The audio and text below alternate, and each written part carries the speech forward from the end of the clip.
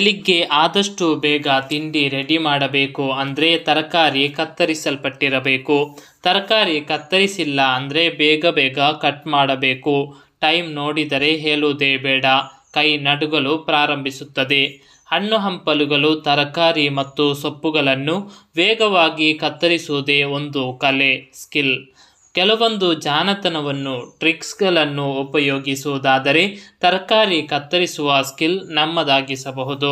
ಅಂದಹಾಗೆ, ನೀವಿನ್ನು Chanchal media channel subscribe ಮಾಡಿಲ್ಲ ಅಂದರೆ ಉಪಯುಕ್ತ ಮಾಹಿತಿಗಳು ನಿಮ್ಮ ಮೊಬೈಲ್ ಮೂಲಕ ಫ್ರೀಯಾಗಿ ದೊರೆಯಲು ಚಾನೆಲ್ ಸಬ್ಸ್ಕ್ರೈಬ್ ಮಾಡಿ ಸಹಕರಿಸಿ. ಹೂಕೋಸು. ಹೂಕೋಸಿನ ಹಿಂಬದಿಯಲ್ಲಿರುವ ಬೇಡವಾದ ಭಾಗವನ್ನು ಬೇರ್ಪಡಿಸುವ ಮುನ್ನ ಹೂಕೋಸನ್ನು ಎರಡು ಭಾಗವಾಗಿ ಕತ್ತರಿಸಿ. ನಂತರ ಹೂಕೋಸಿನ ಬೇಡವಾದ ಭಾಗವನ್ನು ಬೇರ್ಪಡಿಸಿ, ಈಗ ದೊಡ್ಡ ದೊಡ್ಡ ಹೂವಿನ ಆಕಾರದಲ್ಲಿರುವ ಭಾಗಗಳು ಸಿಗುತ್ತದೆ. ಬೇಕಾದ ರೂಪದಲ್ಲಿ ಸಣ್ಣದಾಗಿ ಕತ್ತರಿಸಬಹುದು. ಗಿಡಮೂಲಿಕೆಗಳು. ಗಿಡಮೂಲಿಕೆಗಳನ್ನು ಪ್ರತ್ಯೇಕ ಪ್ರತ್ಯೇಕವಾಗಿ ಕತ್ತರಿಸುವುದು ಅಷ್ಟೇನು ಸುಲಭವಲ್ಲ.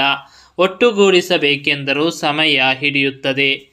ಕಟರ್ನಲ್ಲಿ ಎಲ್ಲವನ್ನು ಒಟ್ಟಿಗೆ ತೆಗೆದುಕೊಂಡು ಕತ್ತರಿಸಿದರೆ ಒಂದೇ ನಿಮಿಷದಲ್ಲಿ ಕೆಲಸ ಮುಗಿಯುತ್ತದೆ. ಹಸಿ ಮೆಣಸಿನಕಾಯಿ. ಹಸಿ ಮೆಣಸಿನಕಾಯಿಯನ್ನು ಟೊಮೆಟೊ ಕಟ್ ಮಾಡುವಂತೆ ಚಾಕಿನಲ್ಲಿ ಕಟ್ ಮಾಡಿದರೆ ಕೈಯೆಲ್ಲ ಖಾರವೆನಿಸುತ್ತದೆ. ಅದೇ ಕೈಯಲ್ಲಿ ಕಣ್ಣು ಮುಟ್ಟಿದರೆ ಕಥೆಯೇ ಬೇರೆ. ಕತ್ತರಿಯನ್ನು ಹಸಿ ಮೆಣಸಿನಕಾಯಿ ಕಟ್ ಮಾಡಲು ಬಳಸುವುದರಿಂದ ಬೇಗನೆ ಕೆಲಸ ಮುಗಿಯುತ್ತದೆ. ಮಾತ್ರವಲ್ಲ ಯಾವುದೇ ತೊಂದರೆಯೂ ಇರುವುದಿಲ್ಲ.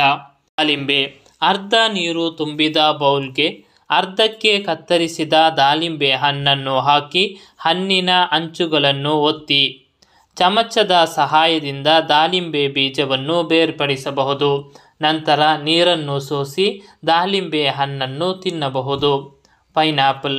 ಪೈನಾಪಲ್ ಹಣ್ಣಿನ ತುದಿಗಳ ಭಾಗವನ್ನು ಕತ್ತರಿಸಿದ ನಂತರ ಪೈನಾಪಲ್ ಹಣ್ಣಿನ ಸಿಪ್ಪೆಯನ್ನು ಚಾಕುವಿನಿಂದ ತೆಗೆಯಿರಿ. ಅನಂತರ ನಿಮಗೆ ಬೇಕಾದ ರೀತಿಯಲ್ಲಿ ಬೇಕಾದ ಹಾಗೆ ಪೈನಾಪಲ್ ಹಣ್ಣನ್ನು ಕತ್ತರಿಸಬಹುದು. ಈರುಳ್ಳಿ, ಬೆಳ್ಳುಳ್ಳಿ, ಚಟ್ನಿ ಮಾಡಬೇಕಾದರೂ ಕತ್ತರಿಸಬೇಕಾಗುತ್ತದೆ. ಈರುಳ್ಳಿ, ಬೆಳ್ಳುಳ್ಳಿಯನ್ನು ಸುಲಭವಾಗಿ ಮತ್ತು ವೇಗವಾಗಿ ಕತ್ತರಿಸುವ ವಿಧಾನ ಅರಿತರೆ ಬೇಗನೆ ತಿಂಡಿ ರೆಡಿ ಮಾಡಬಹುದು. ಈರುಳ್ಳಿ. ಈರುಳ್ಳಿಯ ತಲೆ ಕತ್ತರಿಸಿದ ನಂತರ ಈರುಳ್ಳಿಯನ್ನು ಎರಡು ಹೋಲಾಗಿ ಮಾಡಿಕೊಳ್ಳಿ. ಸಿಪ್ಪೆ ತೆಗೆದು ಸುಲಭವಾಗಿ ಉದ್ದದ್ದ ಹಚ್ಚಿ, ಹೆಚ್ಚಿ.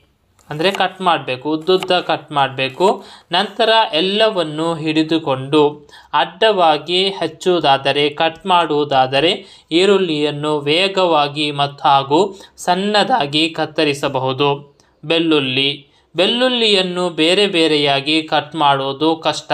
ಸಮಯ ಕೂಡ ತುಂಬಾ ಹಿಡಿಯುತ್ತೆ.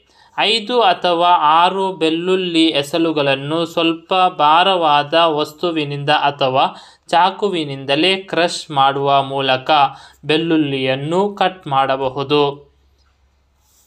ಉಪಯುಕ್ತ ಮಾಹಿತಿಗಳನ್ನು ನಿಮಗೆ ತಲುಪಿಸುವಂತಹ ಚಂಚಲ್ ಮೀಡಿಯಾ ಚಾನೆಲ್ ಸಬ್ಸ್ಕ್ರೈಬ್ ಮಾಡಿ ಸಹಕರಿಸಿ.